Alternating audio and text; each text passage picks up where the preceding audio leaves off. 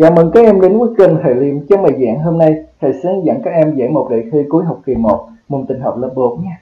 cho lúc xem bài giảng của thầy Liêm, nếu các em thấy quảng cáo, các em xem hết quảng cáo giúp thầy Liêm để thầy có thêm kinh phí làm gì bài giảng cho các em xem nhé. Giờ mình sẽ vào bài giảng hôm nay. À, chứ hôm mình sẽ à, làm phần lý thuyết, phần trắc nghiệm. Phân vào chữ kế trước câu trả lời đúng nhất nhé. Câu số 1. À, đổi tên thư mục. Em sẽ nhấn à, chuột phải vào thư mục đó và chọn như vậy để đổi tên thì chắc chắn mình phải chọn lệnh rename đúng không? Như vậy rename chính là đáp án B đúng không? Như vậy câu số 1 mình sẽ chọn đáp án B nhé. Tiếp theo câu số 2 à, tên của tiệp gồm có hai phần được ngăn cách bởi dấu chấm. Như vậy mình nhớ là tên của tiệp gồm có hai phần được ngăn cách bởi dấu chấm chính là phần tên và phần mở dọc đúng không? Giờ như vậy mình xem đáp án nào đúng nè. ABCD chính là đáp án D đúng không? À, phần tên và phần hội dọc như vậy câu số 2 mình sẽ chọn đáp án D nhé.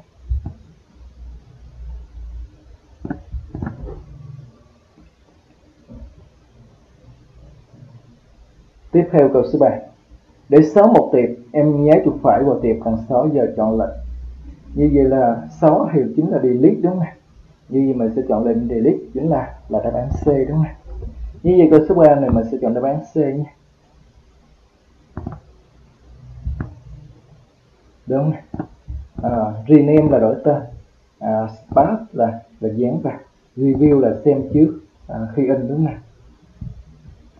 giờ tiếp theo là câu số 4 à, để truy cập được vào internet máy tính phải.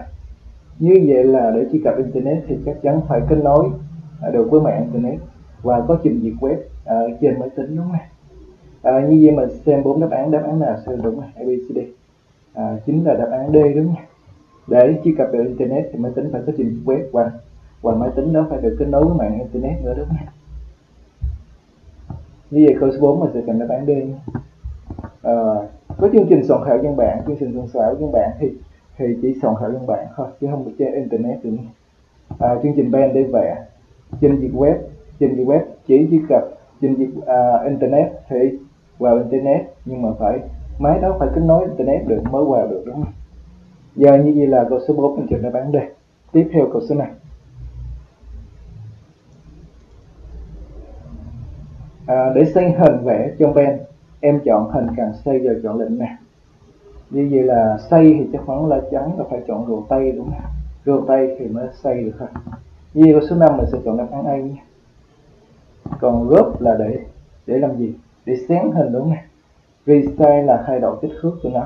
À, tăng hoặc là giảm kích thước select có nghĩa là lựa chọn thôi.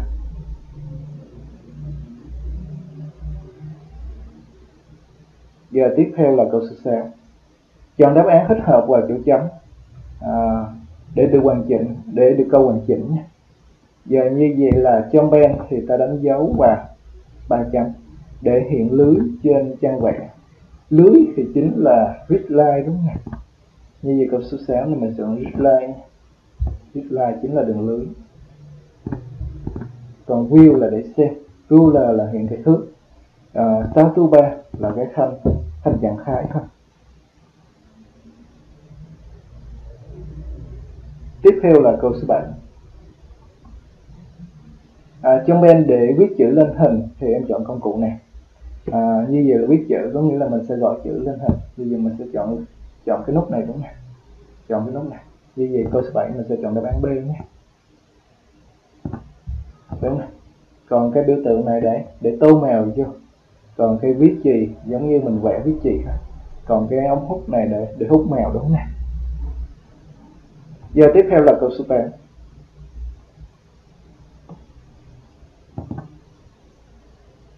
à, trong Word thì muốn thay đổi màu thay đổi độ dày và kiểu đường viền của hình thì ta chọn cái này.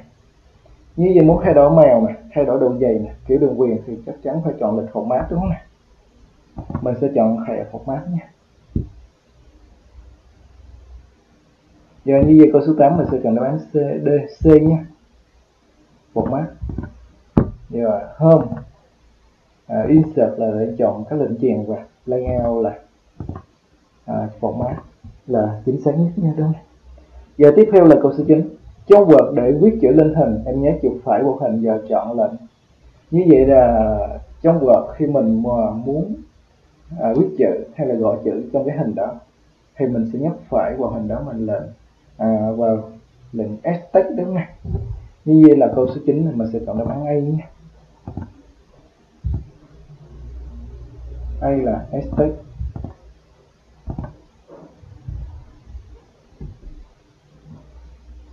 giờ tiếp theo là câu số 10 à, để chèn bản vào và dân bản thì mình sẽ chọn lệnh này à, đáp án A là insert picture. Picture chèn hình thôi. À, insert table thì mới là chèn bảng đúng không? Như vậy câu số 10 mình sẽ chọn đáp án B nhé. Đúng. À, format picture định dạng hình. Format table định dạng bảng đúng không?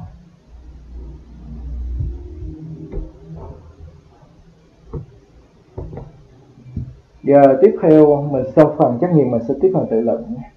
À, câu số 1 em hãy bổ sung à, đầy đủ. Em hãy bổ sung đầy đủ các bước viết chữ lên hình trong bên giờ tiếp theo là phần tự luận à, à, câu số 1 hãy bổ sung đầy đủ các bước à, viết chữ lên hình trong bên nhé. Giờ như vậy là bước 1 mình sẽ chọn cái gì à, trong thẻ hôm để mình viết chữ nhé giờ thầy sẽ hướng dẫn các em làm câu số 1 luôn nhé. Giờ như vậy mình sẽ điền thêm chữ à, cho cho đủ ý đúng không? Như vậy là mình sẽ chọn công cụ đúng không? Chọn công cụ viết chữ.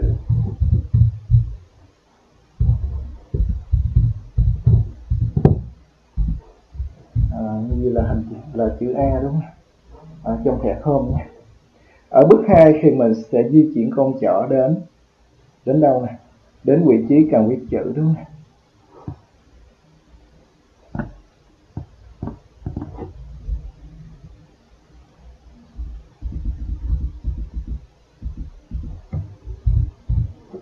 đến vị trí cần viết chữ.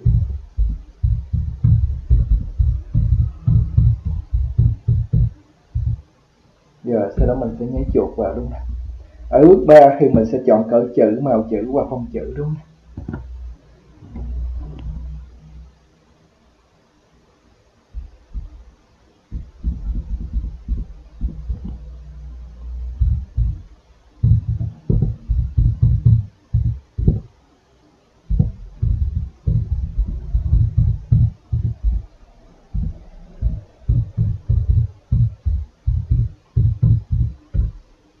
Và bước thứ tư thì mình sẽ ờ, gõ nội dung lên hình vẽ rồi. Rồi sau đó mình sẽ kích chuột ra ngoài khung chữ để kết thúc nhé.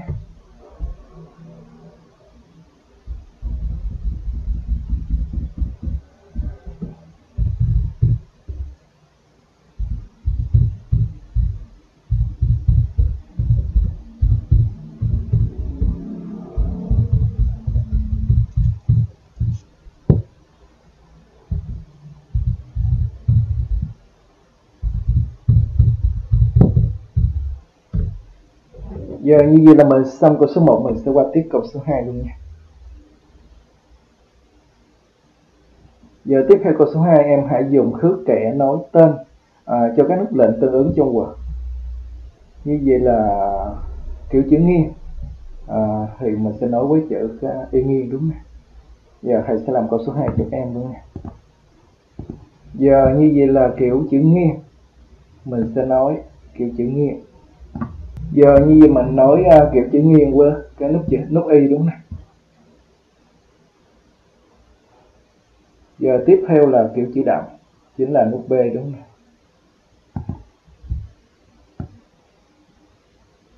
kiểu chữ đậm chính là nút b nhé.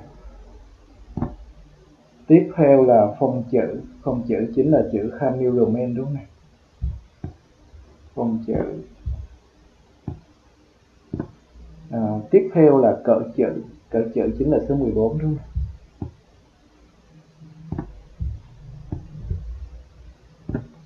Tiếp theo là kiểu gạch chân chính là u u gạch dưới đúng không?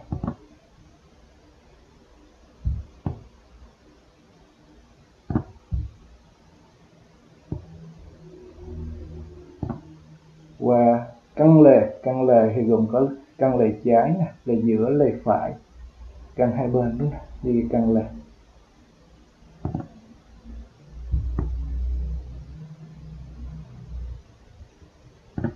đúng. Giờ như vậy là mình xong câu số 2 nha. Câu số 2 các em là có kết quả giống như thầy. Để là bình luận phía dưới video. Cho thầy và các bạn cùng xem nha. À, còn phần B là phần thực hành thì học sinh sẽ kiểm tra trên máy nha. Nhờ như vậy mình xong bài giảng hôm nay. Nếu các em thấy bài giảng dễ hiểu bấm thích chia sẻ cho bạn bè cùng xem và nào chưa đăng ký kênh thầy Liêm bấm đăng ký bấm chuông để xem những bài giảng mới nhất của thầy Liêm nhé. Thầy chúc các em học tốt, tạm biệt em nhé.